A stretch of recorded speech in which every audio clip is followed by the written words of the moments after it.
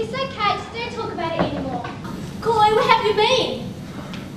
Oh, me and Jane, me and Jimmy, just went for a quick drink. What do you mean a quick drink? You asked us to meet you here at 7. What time is it now? I don't know, six, seven, eight.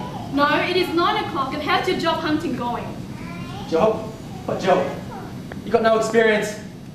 You too short, you too small, you too Asian, you delivered the wrong pizza, what job? Coy, I'm pregnant. Yo, what? Seriously, I'm pregnant. No, no way, she I'm telling you I'm pregnant. You're asking her. Do you think I'm lying? can't be pregnant. I've got no house, no job, no money. You can't be pregnant. So, are you asking me to have an abortion? What are you gonna do? I don't know. It's our baby. We need to work it out together. Ah, you know what? Just forget it. It'll be alright. How is it going to be alright when you're acting like you don't even care? Will you two just calm down? I mean, we're in a public places here. Why don't we all go somewhere else quiet and talk about it, No, huh? I'm, staying here. I'm going anyway. So, you're not going to marry me? I haven't got any money.